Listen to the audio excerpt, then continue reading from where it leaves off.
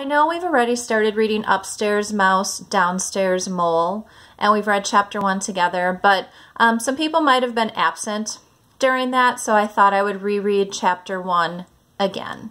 So it is called Upstairs Mouse, Downstairs Mole.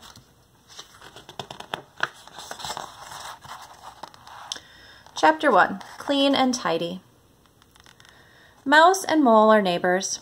Mouse lives in a house inside an oak tree. Mole lives in a hole under the house of Mouse. Every morning Mole swept his hole. Sweep, sweep, sweep. Mole liked his hole nice and tidy. Every evening Mouse swept her house. Sweep, sweep, sweep. Mouse kept her house nice and clean. But when Mouse swept her house, the dirt went below into Mole's hole. This made Mole angry. He knocked on Mouse's door. Tap, tap, tap. Evening, Mole, said Mouse. Evening, Mouse, said Mole. Did you know that when you sweep, all your dirt goes down into my hole? I sweep my place nice and tidy in the morning, but by evening it needs to be swept all over again. If you sweep in the morning, said Mouse, and then again in the evening, why, you have twice as much work as I do. That doesn't seem fair. Together they sat down on the stoop. Mouse twirled her tail. Mole rubbed his snout.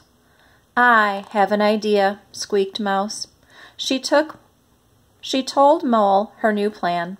They shook paws. Good night, said Mouse to Mole. Good night, said Mole to Mouse. The next morning when Mole woke up, he did not sweep his hole.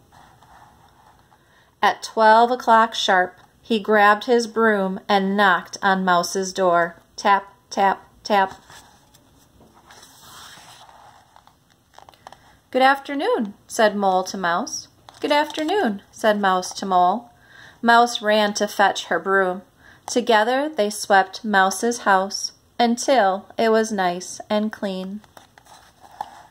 Why, it only took us half the time it takes me to sweep my house, said Mouse.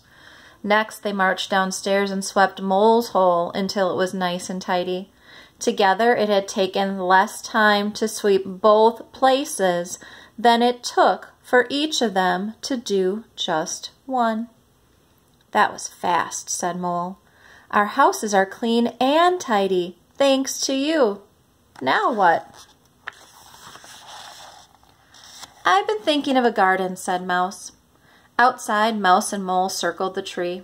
Mole rubbed his snout. Where shall we put it? How about in back, said Mouse, twirling her tail. Then we will have a backyard. Good thinking, exclaimed Mole. First, they dug up a patch of grass. Next, they raked the dirt until it was soft.